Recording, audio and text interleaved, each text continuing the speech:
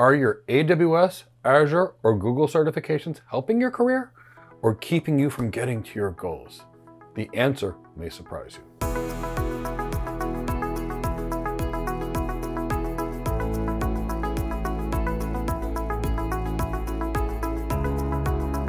Hi, my name is Michael Gibbs, and I'm the founder and CEO of GoCloud Careers. And I've been helping others get their first tech job or get promoted in tech for more than two decades. And I've also spent about two and a half decades working as an architect, a network architect, an enterprise architect, a business architect, what have you. And in today's video, I want to talk about how to leverage certifications correctly. So, because I want you to advance your career. And I also want you to know when it's time to stop pursuing certifications before they hurt your career. Now, certifications can provide a boost to your career, but when used incorrectly, they can damage your brand and keep you from getting to your long-term career goals. And the choice is to know when and which kind of careers can be helped. So there's realistically three kinds of technology careers we're going to talk about. And they're going to be either basic implementation roles, which typically are the lowest paying roles. We'll talk about the, the harder core engineering roles, which are more related to advanced building, performance optimization, and tuning, which are going to be mid-paying roles. And then we're going to get into the high-paying roles, which are related to system design and planning, which are really architect roles, like a cloud architect, an enterprise architect, an AI architect role. And certifications have very different utility for all of these roles. Let's begin with implementation roles. Implementation is about building or configuring the technology space. Roles in this space may be called a systems administrator, a cloud administrator, or a network administrator. These are typically technician roles. They're going to be the lowest paying roles in technology. And here, certifications can have a big impact. Because here's what's taught in a certification. The name of a service and how to configure that service. And this is a how-to job. And that's exactly what's taught in certification. So for those that desire admin roles, certifications are excellent. And what's also taught in certifications is the name of a service.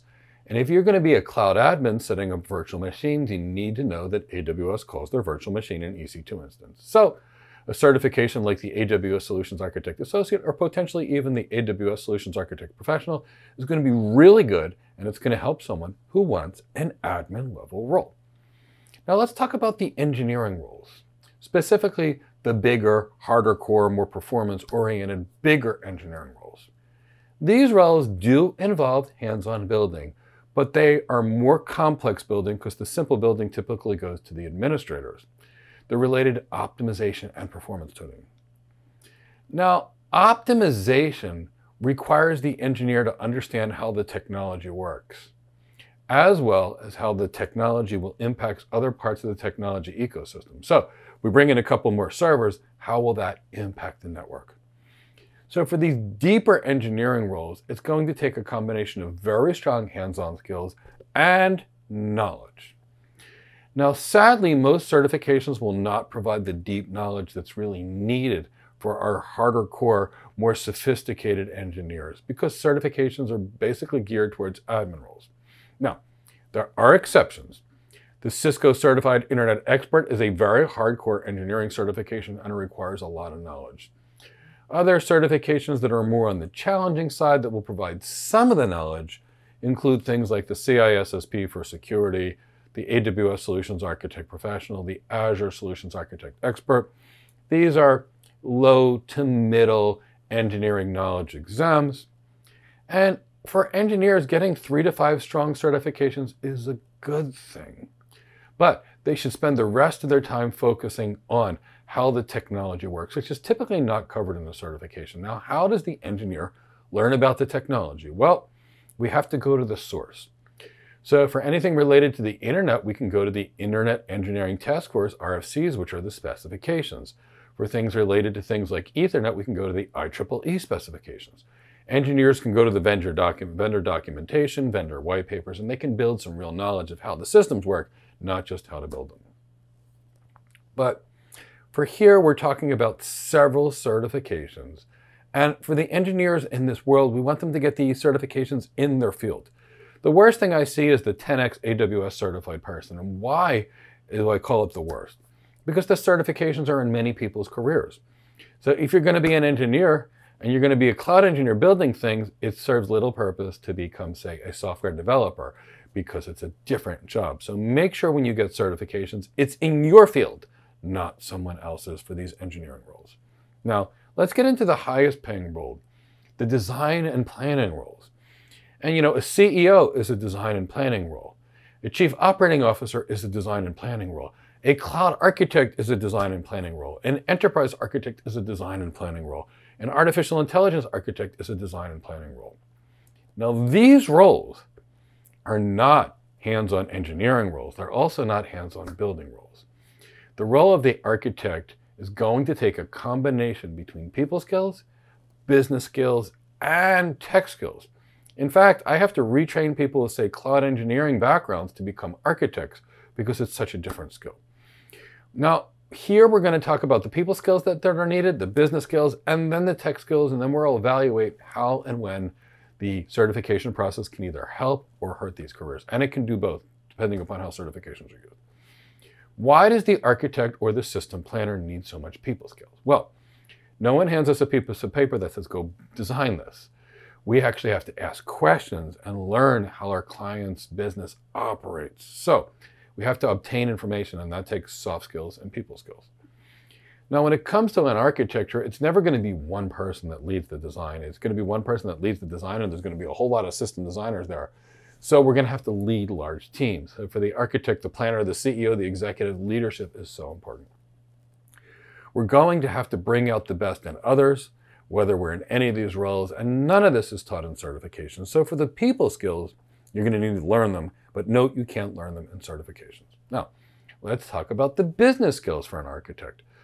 People bring in architects like cloud architects, enterprise architects, AI architects, network architects for us to solve their business problems. So we have to learn about their business, which means we need to understand business. Now, we'll have to have the business skills because we're going to be giving presentations. We're going to be selling our solutions to the client.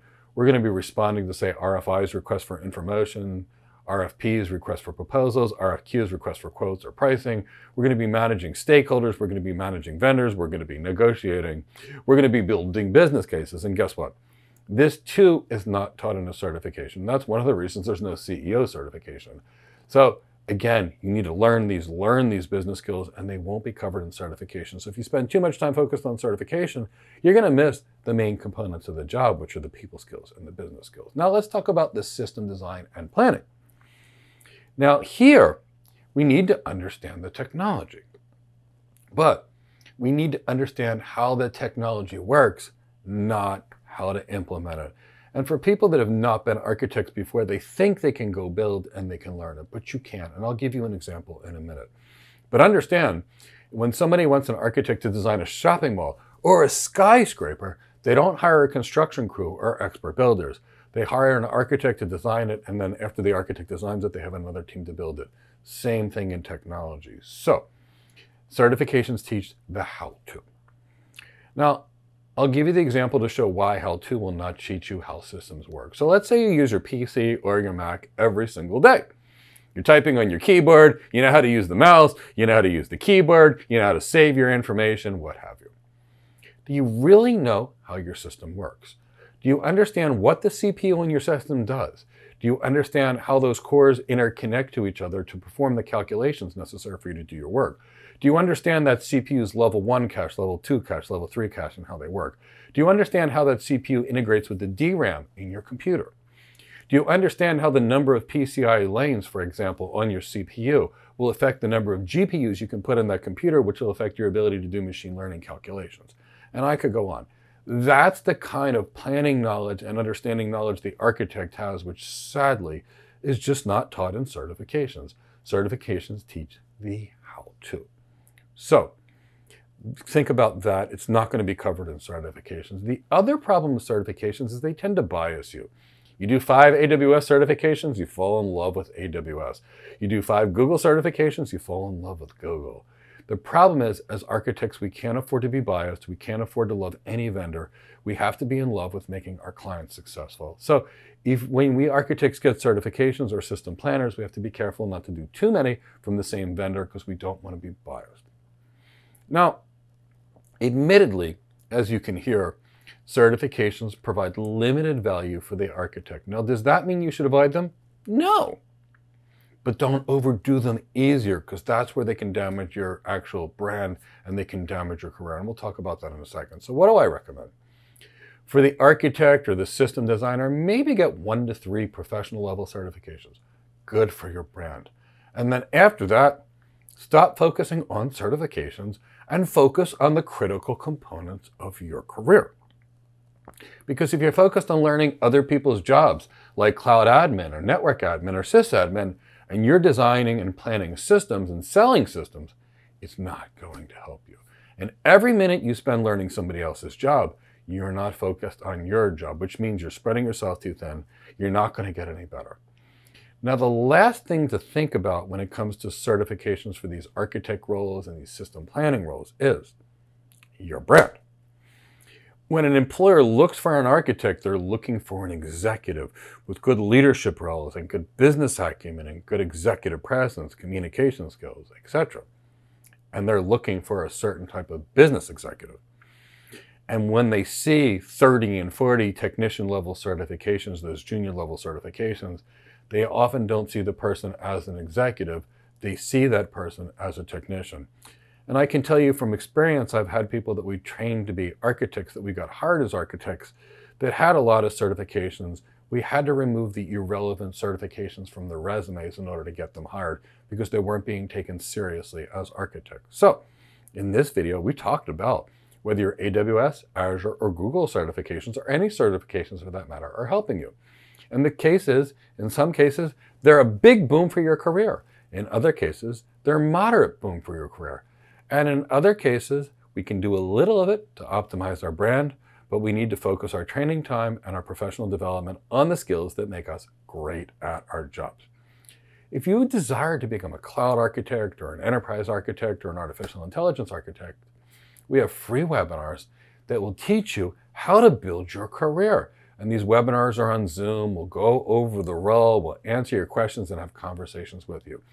We also have a tremendous number of free documents in the description of this video to help you build your technology career.